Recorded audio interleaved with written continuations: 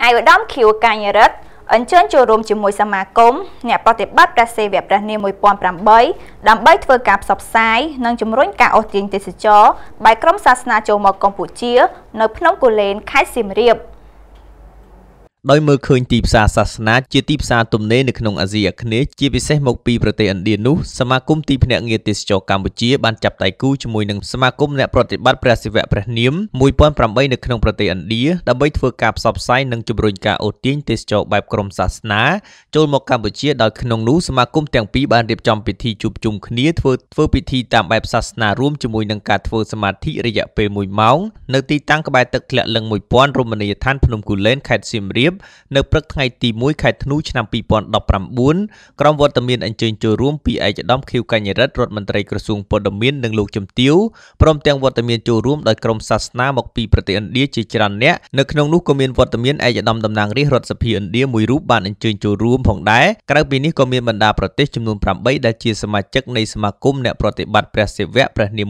1008បានមកចូលរួមនៅក្នុងពិធីនេះតាមការបញ្ជាក់របស់លោកស៊ីរ៉ាជូឌីនគណៈកម្មការសមាគមអ្នកប្រតិបត្តិព្រះសិវៈព្រះនាម1008នៃប្រទេសឥណ្ឌាបានជម្រាបជូនថាសម្រាប់ការស្នាក់នៅរបស់សមាជិកសមាជិកានៃសមាគមដែលមកកាន់ខេត្តសៀមរាបនាឱកាសនេះរយៈពេល3ថ្ងៃដោយធ្វើដំណើរកំសាន្តទៅតំបន់ប្រាសាទនិងតំបន់វប្បធម៌ប្រវត្តិសាស្ត្រមួយចំនួនដូចជាតំបន់អង្គរវត្តតំបន់ភ្នំគូលែនជាដើមហើយគោលបំណងសំខាន់គឺដើម្បីធ្វើការផ្សព្វផ្សាយនិងជំរុញការអូសទាញទេសចរបែបក្រុមសាសនា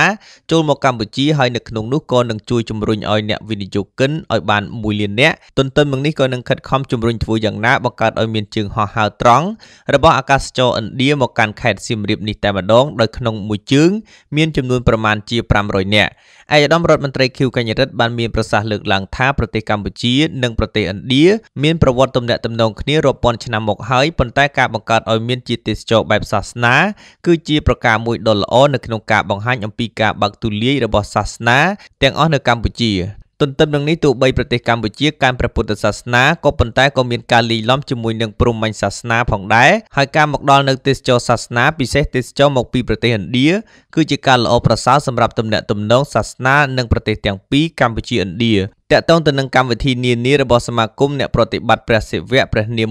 1008នៃប្រទេសឥណ្ឌាលោកសារ៉ាជូឌីនដែលជាគណៈកម្មការអចិន្ត្រៃយ៍សមាគមបានគូបញ្ជាក់បន្ថែមថាពីគ្រប់ប្រទេសទាំងអស់នេះរាប់ទាំងស្រីលង្ការាប់ទាំងប្រទេសឥណ្ឌា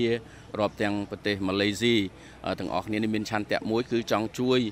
ប្រជាណាចក្រកម្ពុជាផ្នែកខាងទេសចរណាហើយគាត់នឹងសន្យាថាគាត់នឹងនាំអ្នកវិនិយោគ1លានអ្នកទៀត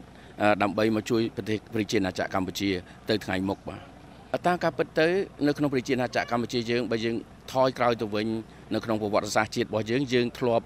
ទទួលយកព្រហ្មញ្ញសាសនាជីវ៉ាហើយនិងព្រហ្មញ្ញសាសនានេះគឺមិនខុសគ្នាទេ